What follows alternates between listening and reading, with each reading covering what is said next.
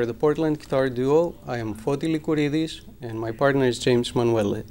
Um, we have chosen a few pieces to perform for you and we began with a piece by Antonio Soler. Uh, Padre Antonio Soler was a monk at the Monasterio de San Lorenzo de El Escorial and he was also the choir master there.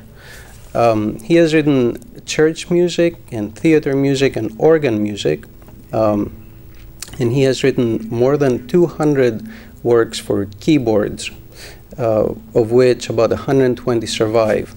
His uh, keyboard works uh, are influenced by the Spanish popular music and by Domenico Scarlatti, with whom he studied uh, when uh, Scarlatti was a composer at the Spanish court.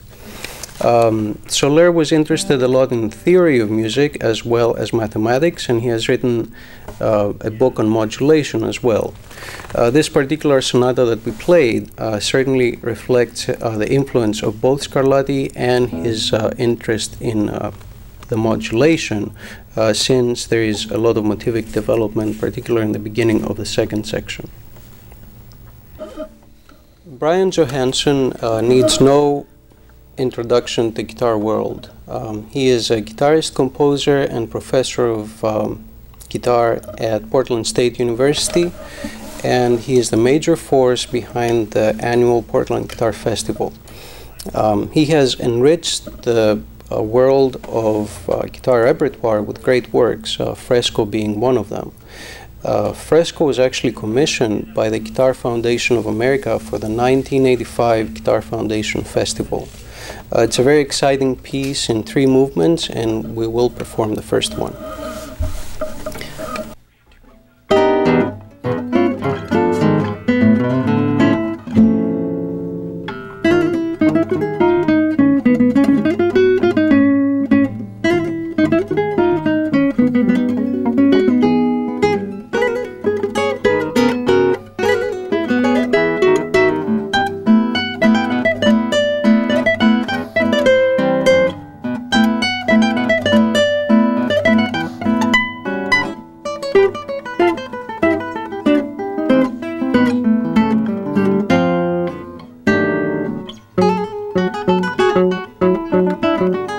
you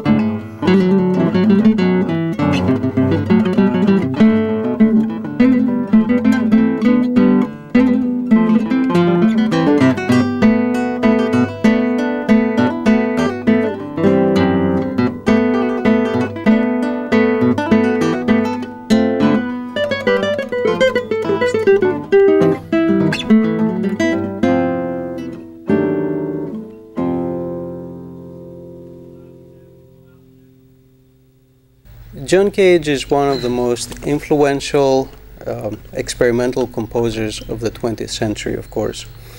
Um, the piece we chose to play for you is called Dream, and it dates from 1948 when he was collaborating with the Merce Cunningham uh, Dance Company.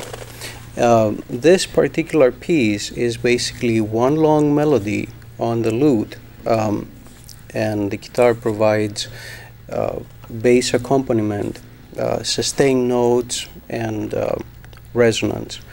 Um, and all falls within more or less a mode. Um, since I started studying this instrument, I wanted to include a piece for lute and guitar, and we chose this one uh, because the description of the title um, and the ethereal quality of the lute sound go very well together.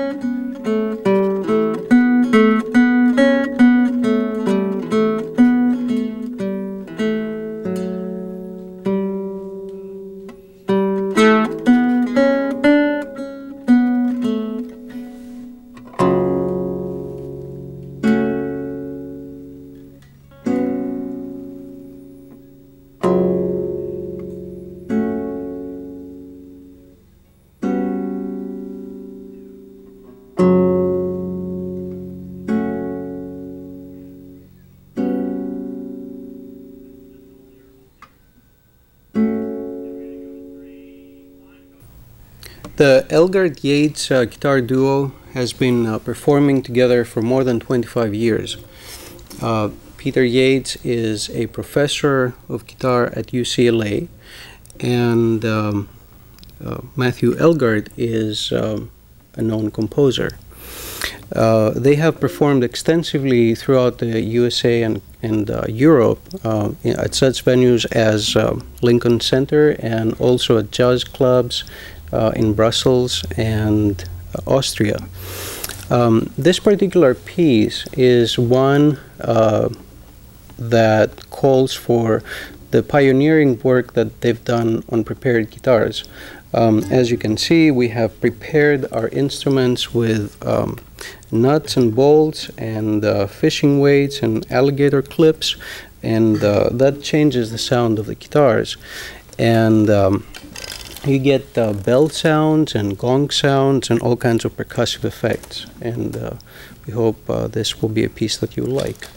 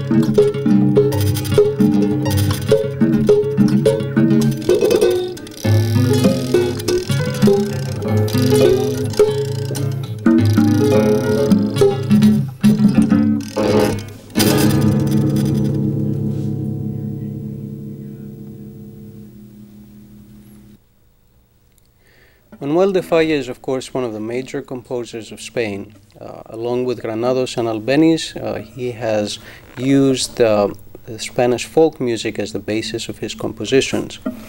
Uh, both the Miller's Dance and the Ritual Fire Dance that we're going to perform for you draw from the gypsy music of Andalusia, and they're both full of passion. Um, the Miller's Dance is uh, the male protagonist's solo uh, in the ballet The Three Cornered Hat. And uh, the ritual fire dance is the exercising of the uh, ghost of the male lover uh, in the uh, El Amor Brujo.